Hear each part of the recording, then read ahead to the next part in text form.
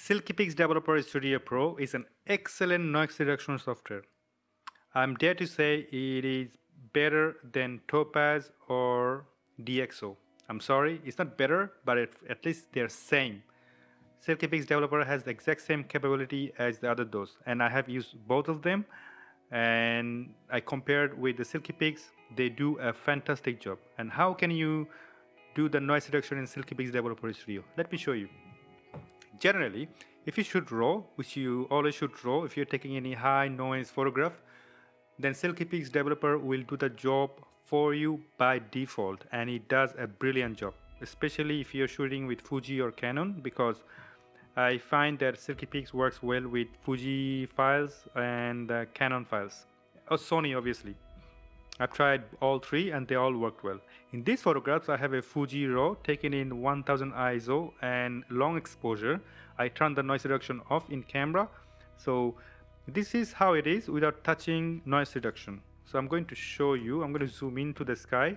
Obviously this is where most of the time you will see your noise to about 100%. So you can see that it does have a little bit of uh, artifacts obviously but there are no noise because silky SilkyPix did the job. Automatically added 39 color distortion which is the color noise and smoothness the luminance well to 39 as well. What if I get rid of them? See the original noises in the camera. I'm going to go back. You can tell this was the original noise of the raw file we're going to keep it on the side for the comparison. And I'm going to pull back.